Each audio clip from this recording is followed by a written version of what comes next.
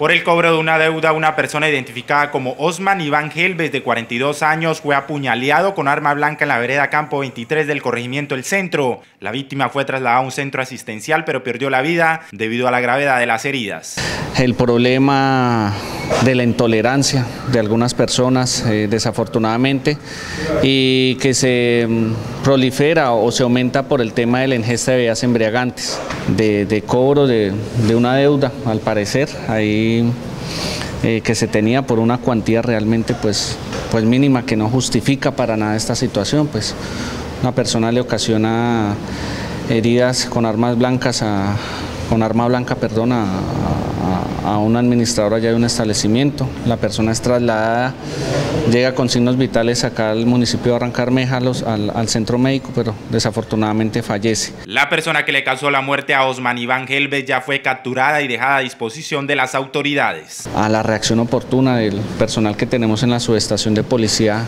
el centro, se logra la captura de, en flagrancia de la, de la persona que que está indiciado, se le señala este homicidio como tal.